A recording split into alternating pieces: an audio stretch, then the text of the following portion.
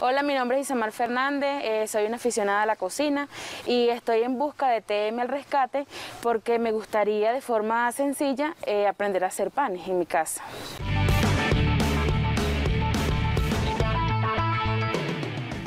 Bueno, ahora sí, como lo prometido es deuda, nos encontramos con Tatiana Pérez Doncel. Ella es una panadera experta que nos va a enseñar a todos, a ustedes, a Isamar y a todos aquí, cómo hacer pan de manera sencilla, como los profesionales, ¿cierto, Tati? Así es, muchísimas gracias, Julis, por esta invitación y a Isa, que está súper entusiasmada por este proceso que vamos a iniciar hoy. Les voy a contar, vamos a hacer un pan sencillo. Necesitamos harina, levadura, en este caso es levadura instantánea que es más fácil de conservar y conseguir en casa, sal, esencia de mantequilla, azúcar, mantequilla y nuestro líquido vital, agua. ¿Listo, Isa? Yo creo que estamos preparadas para iniciar con esto. Entonces, lo primero es tener pesado nuestro kilo de harina, y vamos a hacerle un volcancito que es eh, abrir un espacio en el medio para agregar nuestra levadura. Esta levadura son 10 gramos de levadura seca, activa. Vamos a generar algo similar a esto al abrir el volcán. Esto se llama un polish o una esponja. Este es un, un elemento ya activo. Aquí es donde ya tenemos el pan hecho vida agregamos la mitad de nuestra agua, que es la, eh, de 500 mililitros, promedio de dos tazas. Aquí lo tenemos y arrancamos para hacer nuestra, eh, nuestra espuma, nuestro polish.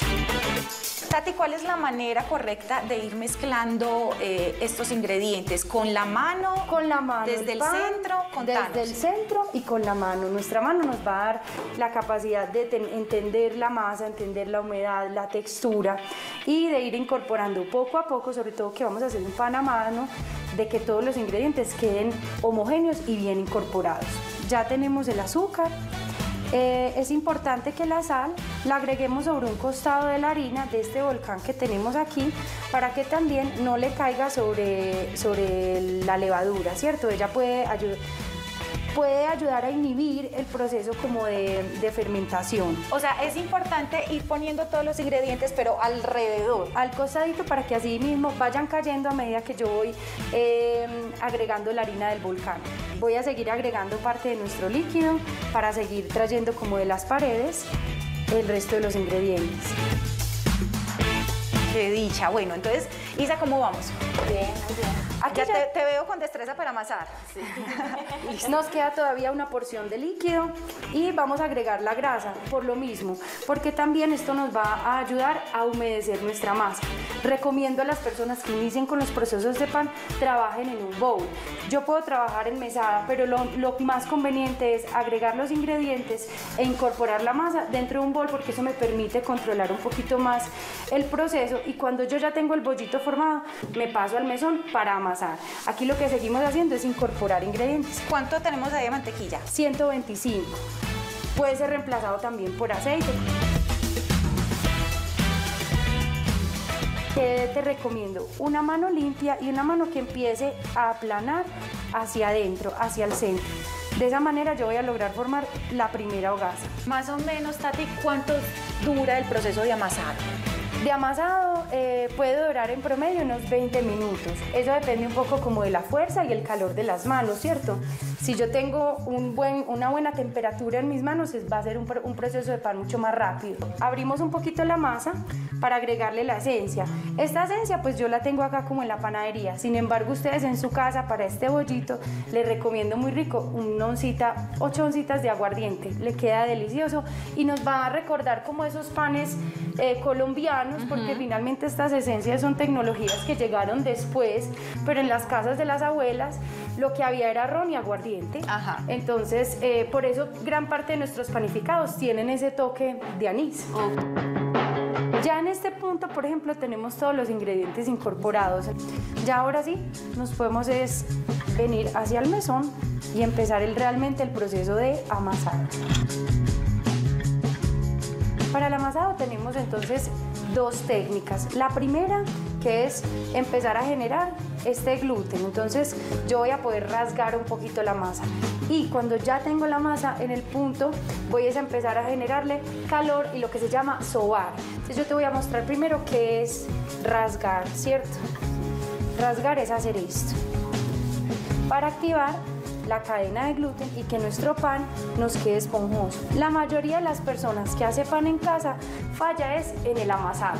Cuando yo quiero un pan esponjoso, que me crezca, que tenga el proceso, es cuidar fermentación y generarle las cadenas de gluten, o sea, esta mallita que me da la elasticidad al pan, solo lo logro con el amasado. Aquí es donde empieza como el proceso místico que tiene el pan. Pues desde esta parte y aquí es como esa parte terapéutica que le gusta a la gente del pan, que es incorporar este, esta esencia de manos, este calor.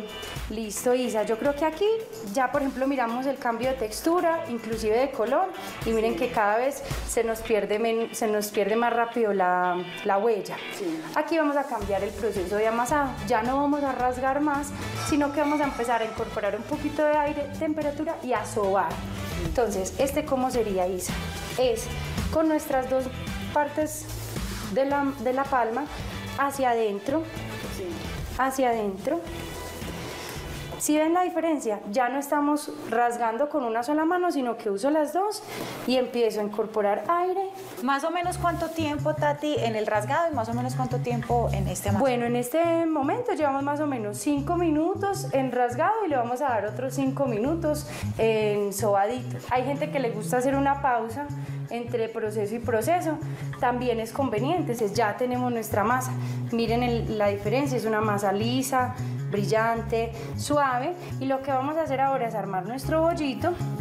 Le voy a poner un poquito al bowl, inclusive en el mismo donde teníamos la masa. La ponemos acá, inclusive se siente, se siente calorcito, tócala para que la puedas identificar. Ya, no ya tenemos buen rebote con un pañito de algodón y la vamos a cubrir para darle un poquito de calorcito y vamos a darle 30 minutos de fermentación. Listo, vamos a esperar entonces esos 30 minuticos.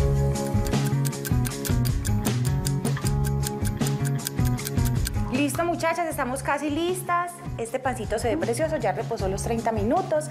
Tenemos aquí la báscula, tenemos una bandeja, tenemos huevo. Huevo, esto es como para pintar, los vamos a decorar nuestros bollitos con semillas. Acá tengo una mezcla de canela con azúcar morena y avena, pero puede ser ajonjolí, chía, harina de maíz, lo que tengan en casa. Este es el huevito típico para pintar que tiene toquecito de agua, pongámosle por huevo dos cucharadas soperas de agua, una pizquita de sal y una pizquita de azúcar morena. Esto es lo que nos sirve para pintar nuestros pancitos.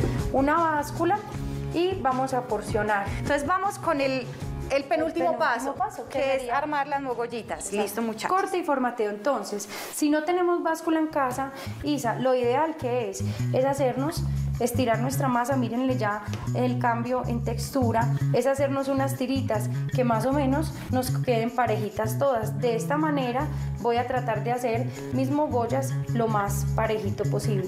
Si no tengo este cortador, lo puedo reemplazar por un cuchillo en casa. Entonces eh, vamos a porcionar unas mogollas de 50 gramos.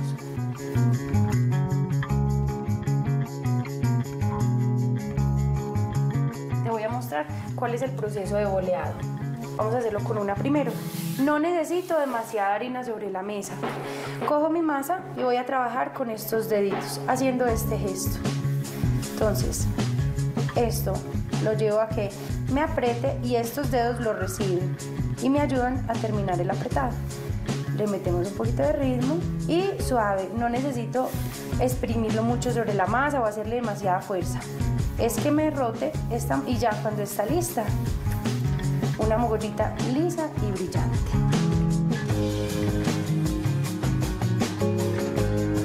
Listo. Ya tenemos formateadas nuestras mogollas, vamos a pintar con la mezcla de huevo y azúcar y si quieres tú vas pintando y yo le voy poniendo los toppings.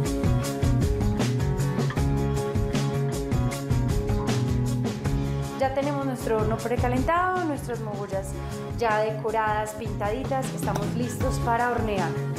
¿Vamos? Recuerden, 190, 180 la temperatura. Inicien con una temperatura más controlada en casa y son 35 minutos de horno. Ya es cuestión de esperar y empezar a sentir ese olor a pan caliente.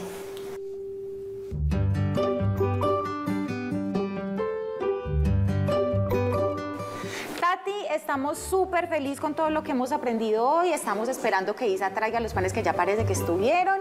Resultó ser un excelente aprendiz. Sí, yo siento que lo disfrutó muchísimo y espero que ustedes en casa también y se animen a hacer la receta. Vamos a hornear pan fresco en casa, que es una actividad que podemos involucrar al resto de la familia. Muy bonito el proceso y los invito a que hagamos pan en casa. Quedó. Isa, qué belleza. chévere. A ver, yo miro esta Qué belleza. delicia.